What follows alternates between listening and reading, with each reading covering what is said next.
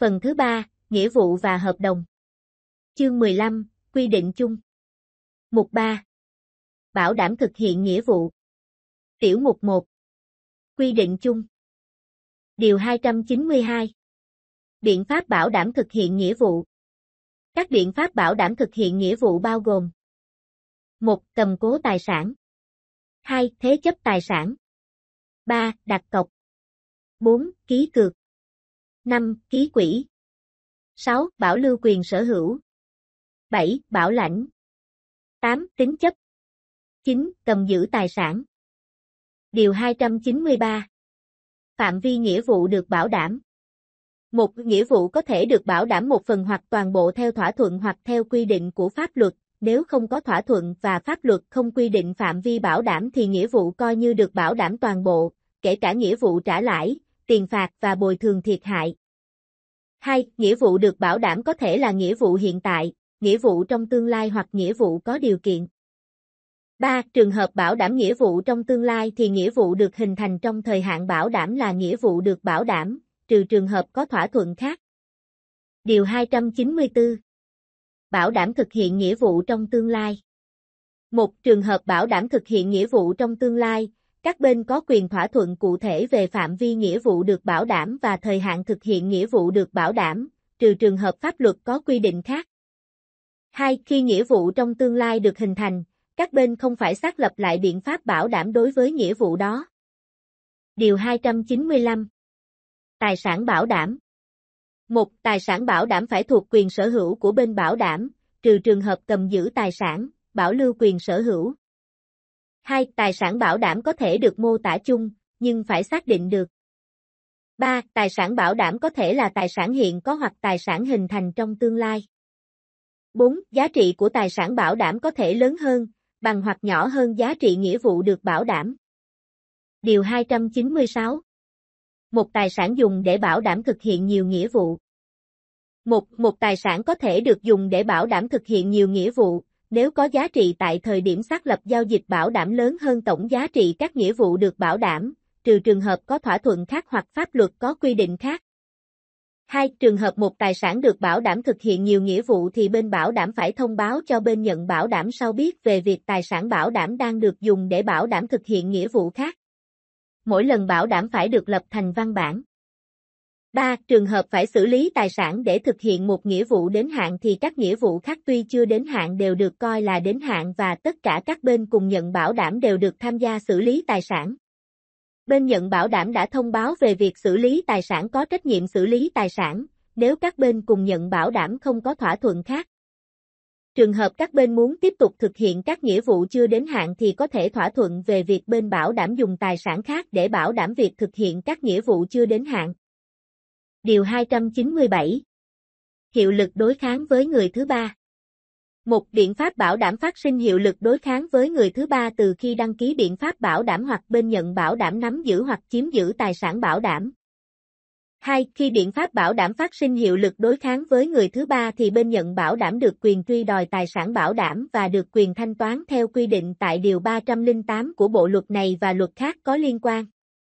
Điều 298 Đăng ký biện pháp bảo đảm Một, biện pháp bảo đảm được đăng ký theo thỏa thuận hoặc theo quy định của luật.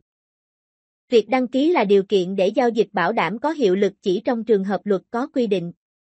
2. Trường hợp được đăng ký thì biện pháp bảo đảm phát sinh hiệu lực đối kháng với người thứ ba kể từ thời điểm đăng ký. 3. Việc đăng ký biện pháp bảo đảm được thực hiện theo quy định của pháp luật về đăng ký biện pháp bảo đảm. Điều 299 các trường hợp xử lý tài sản bảo đảm 1. Đến hạn thực hiện nghĩa vụ được bảo đảm mà bên có nghĩa vụ không thực hiện hoặc thực hiện không đúng nghĩa vụ. 2. Bên có nghĩa vụ phải thực hiện nghĩa vụ được bảo đảm trước thời hạn do vi phạm nghĩa vụ theo thỏa thuận hoặc theo quy định của luật. 3. Trường hợp khác do các bên thỏa thuận hoặc luật có quy định. Điều 300. Thông báo về việc xử lý tài sản bảo đảm. 1. Trước khi xử lý tài sản bảo đảm, bên nhận bảo đảm phải thông báo bằng văn bản trong một thời hạn hợp lý về việc xử lý tài sản bảo đảm cho bên bảo đảm và các bên cùng nhận bảo đảm khác. Đối với tài sản bảo đảm có nguy cơ bị hư hỏng dẫn đến bị giảm sút giá trị hoặc mất toàn bộ giá trị thì bên nhận bảo đảm có quyền xử lý ngay, đồng thời phải thông báo cho bên bảo đảm và các bên nhận bảo đảm khác về việc xử lý tài sản đó. 2. Trường hợp bên nhận bảo đảm không thông báo về việc xử lý tài sản bảo đảm theo quy định tại khoản một điều này mà gây thiệt hại thì phải bồi thường cho bên bảo đảm, các bên cùng nhận bảo đảm khác. Điều 301 Giao tài sản bảo đảm để xử lý Người đang giữ tài sản bảo đảm có nghĩa vụ giao tài sản bảo đảm cho bên nhận bảo đảm để xử lý khi thuộc một trong các trường hợp quy định tại Điều 299 của Bộ Luật này. Trường hợp người đang giữ tài sản không giao tài sản thì bên nhận bảo đảm có quyền yêu cầu tòa án giải quyết, trừ trường hợp luật liên quan có quy định khác. Điều 302 Quyền nhận lại tài sản bảo đảm Trước thời điểm xử lý tài sản bảo đảm mà bên bảo đảm thực hiện đầy đủ nghĩa vụ của mình đối với bên nhận bảo đảm và thanh toán chi phí phát sinh do việc chậm thực hiện nghĩa vụ thì có quyền nhận lại tài sản đó, trừ trường hợp luật có quy định khác.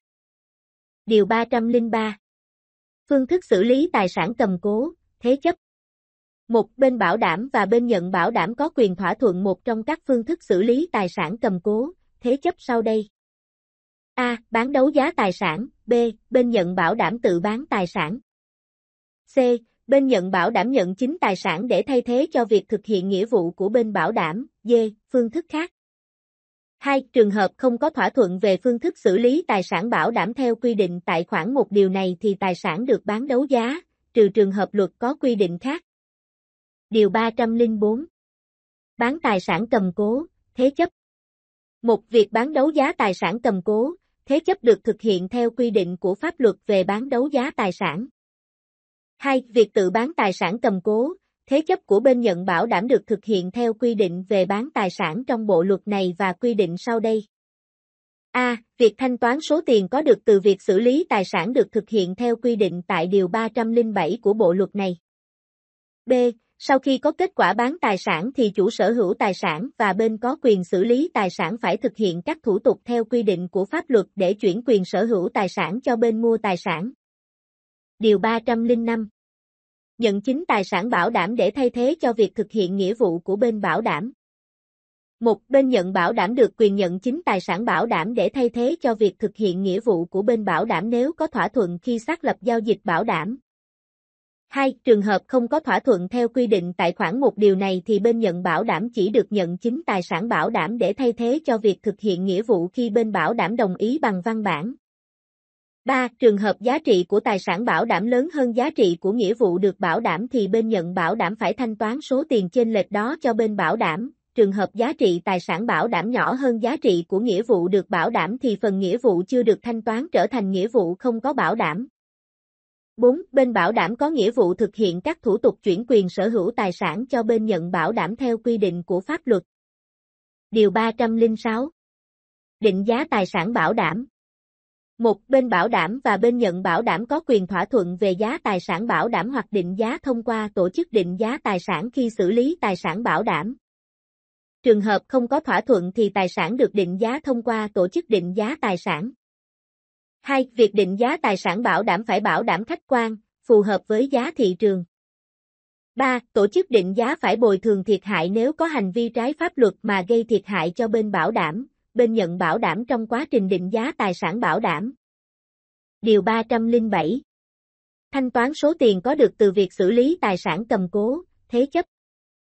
Một số tiền có được từ việc xử lý tài sản cầm cố, thế chấp sau khi thanh toán chi phí bảo quản, thu giữ và xử lý tài sản cầm cố, thế chấp được thanh toán theo thứ tự ưu tiên quy định tại Điều 308 của Bộ Luật này. 2. Trường hợp số tiền có được từ việc xử lý tài sản cầm cố, thế chấp sau khi thanh toán chi phí bảo quản, thu giữ và xử lý tài sản cầm cố, thế chấp lớn hơn giá trị nghĩa vụ được bảo đảm thì số tiền trên lệch phải được trả cho bên bảo đảm. 3. Trường hợp số tiền có được từ việc xử lý tài sản cầm cố, thế chấp sau khi thanh toán chi phí bảo quản, thu giữ và xử lý tài sản cầm cố, thế chấp nhỏ hơn giá trị nghĩa vụ được bảo đảm thì phần nghĩa vụ chưa được thanh toán được xác định là nghĩa vụ không có bảo đảm, trừ trường hợp các bên có thỏa thuận bổ sung tài sản bảo đảm. Bên nhận bảo đảm có quyền yêu cầu bên có nghĩa vụ được bảo đảm phải thực hiện phần nghĩa vụ chưa được thanh toán. Điều 308 Thứ tự ưu tiên thanh toán giữa các bên cùng nhận tài sản bảo đảm. Một, khi một tài sản được dùng để bảo đảm thực hiện nhiều nghĩa vụ thì thứ tự ưu tiên thanh toán giữa các bên cùng nhận bảo đảm được xác định như sau. A. Trường hợp các biện pháp bảo đảm đều phát sinh hiệu lực đối kháng với người thứ ba thì thứ tự thanh toán được xác định theo thứ tự xác lập hiệu lực đối kháng. B. Trường hợp có biện pháp bảo đảm phát sinh hiệu lực đối kháng với người thứ ba và có biện pháp bảo đảm không phát sinh hiệu lực đối kháng với người thứ ba thì nghĩa vụ có biện pháp bảo đảm có hiệu lực đối kháng với người thứ ba được thanh toán trước. C. Trường hợp các biện pháp bảo đảm đều không phát sinh hiệu lực đối kháng với người thứ ba thì thứ tự thanh toán được xác định theo thứ tự xác lập biện pháp bảo đảm.